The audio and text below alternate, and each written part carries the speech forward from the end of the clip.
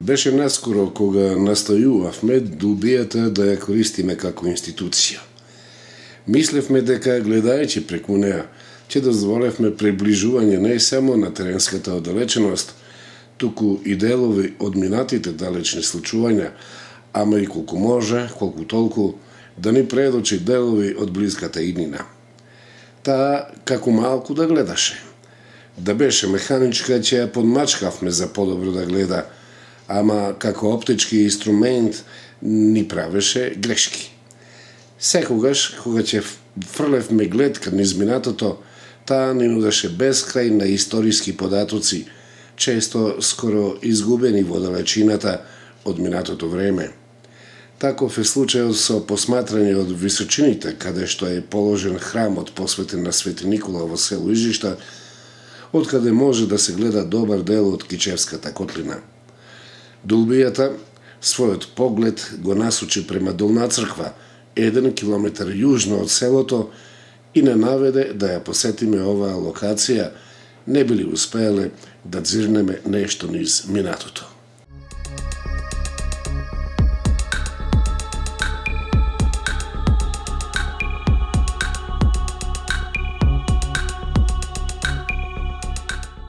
Моментот на посетата го символизираше денот Спасовден. Дојдоа многу верници од Жиште, ама и од соседното село Дворци, кои најнапред се поклонија на крстот посветен на светителот. Како да полтеше тожеството врз крвта на земните раце, па гласно ја читаа песнарката возлюбена во крстот, за да се слушне глувото време во нивните срца и да направат допир со небесната тајна – собакнеш на образот од свевишната песна.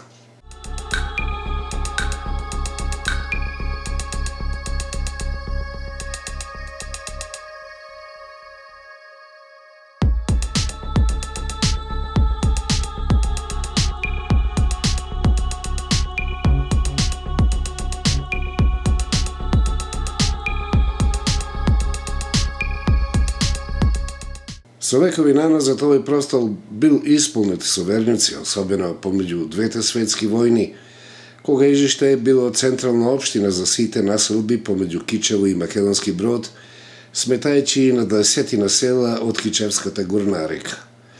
Тогаш тожествената песнарка била следена со звуци од гајда, зурли и тапани.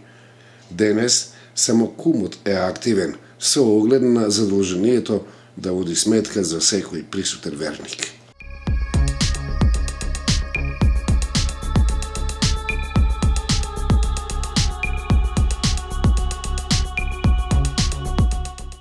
Сите гости поздравува да повелат по поголем број, да дојдат, да присуствуваат на овие манифестации, да имат поголема дружба и да се изгради овој храм.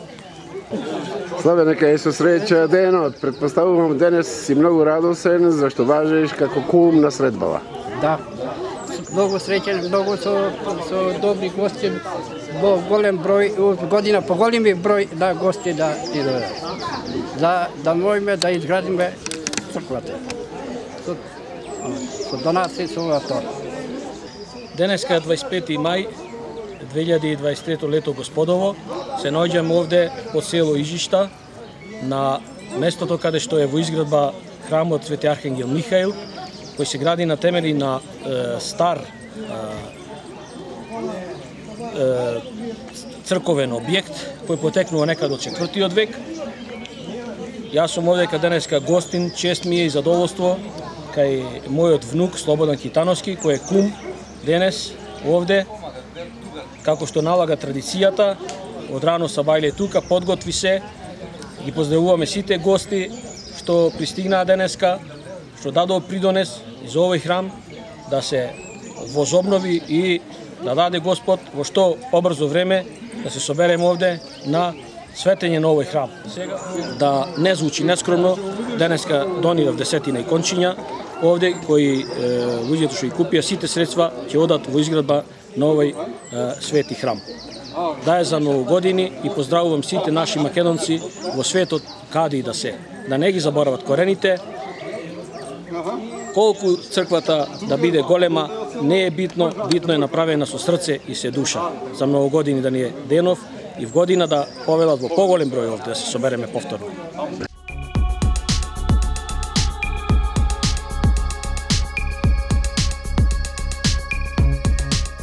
Инаку ова возвишение представува природна тераса, на која низ вековите значела како дом за вечен престој на дотогаш упокоените. Безмалку по целата должина и широчина од терасата се начичкани стари гробови кои секогаш биле погребувани по стариот начин, христијанско-православен, како почнувајќи од првиот век па се до четвртиот и петиот, Македонија била римска провинција назначена како Македонија прима. Како голема почест за одржување на православната традиција, римјаните го кронисале поднебието со духовна базилика, низ чиј мозеик придружиле обоени материјали, камчиња од далечниот југ, односно од долината на реката Нил во Африка. Тие ја поддржале и изградбата на црквата посветена на Свети Архангел Михаил, која била со огромни габаритни димензии. Незиното одржување престанало во 14. век, од кога Ижиштани ја изградиле црквата Свети Никола, која била близко до селото, а веднаш потоа Свети Михаил Архангел се препуштил на забот од времето, кога после два века се сравнил со земјата.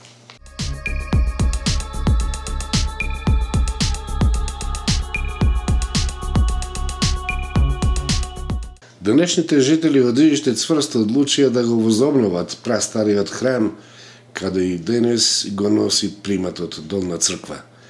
Темелите се сместени во средиштето на старата црква, а како викаат, духовната базилика ќе се го најде местото како предворие на истиот. Возвишен е над темелите и сега останува само да се затвори со камен, кој што го има во изобилие, особено покрај и над црквата. Викаат сите камења како да слегувале од падините на Ижишкото кале со тркалање. На вистина може би малку потемнеле, ама јасно се забележителни и лузната кои ги добиле низ вековите од нивниот камен живот. Тоа ќе биде само слика за мајсторите кои ќе треба да го вградат во зидовите од новиот храм, ама најверојатно преполовен за да влезе во џонија со другите камења, и ќе биде завртен со белата боја према лицето. Зашто Ижиштани веруваат дека белата каменова боја носи светлина која безмалку е иста со сончевата, односно со сончевата енергија.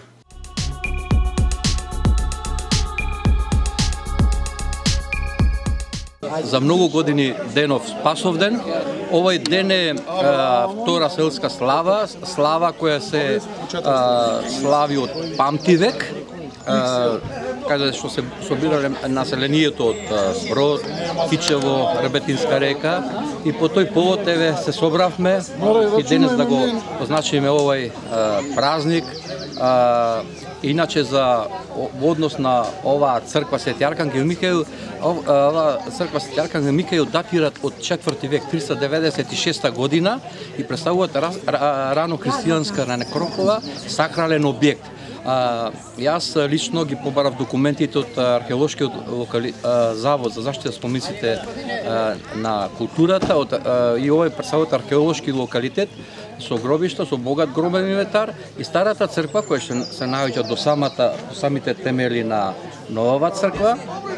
А, има во долниот дел мозаик, скапоцен мозаик, камчината се носене од Египет, според, според кажувањата од археолошки локалитет од инспекторот Илија Бојчески и тоа во, во догледно време ќе се ископа, ќе се истражи, бидејќи гробовите се со велико достојници од 4 5 до 11 век. Значи тука кај што е селското школо изградено 1934 година и тоа е изградено на тие гробишта и до последниот дел е кривината, значи сето тоа е со а, рано христијански гробишта со богат гробен инвентар во вид, изградени во вид на циста.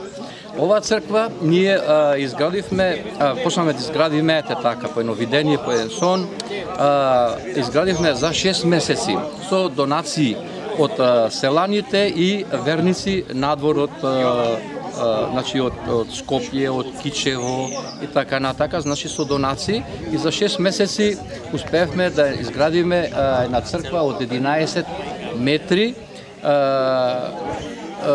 каде што еве сме во фаза за градење со мермерниот дел нагоре и нормално донаторите те искажа голема желба им да се пријавија за иконостасот, се пријавија за влезната врата и мислиме да ова година ако продолжиме со ова темпо дека би требало да осветиме и од вака како што благословува и владиката и свештениците да ја осветиме со каршевки.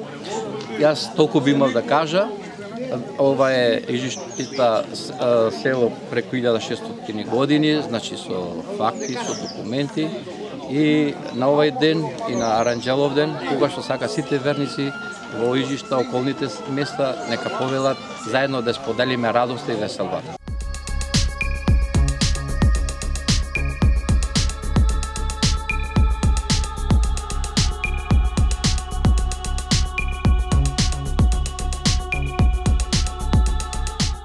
А Ирлија, како да дава резултати нашата временска долубија. Вистина е дека во непосредна близина на овој локалитет од римското време, во времето помеѓу двете светски војни е изграден објект кој исклучиво требало да важи како училиште за спознаја на писменоста на подмладокот од две населени населби, Ижиште и Дворци. Денес секој од возрастните од овие села ќе ви признае дека учил писменост во овој објект, особено пред и после Втората светска војна. Исклучени се единствено годините од Втората светска војна, кога објектот го користеле бугарите како бугарски учесток, односно како центар на бугарска гранична полиција. Во повоениот период со објектот раководеше тогашната самоуправна интересна заедница просвета, а по распаѓање на истата се распаѓа и објектот. Токму тука писменост учеше и репортерот на овој запис – кој ден денес носи траги од минатото за ова поднебје, ама ќе ми простите, рушевините ми ги потватија спомените и понатаму не можам ништо да ви кажам. Нема повеќе.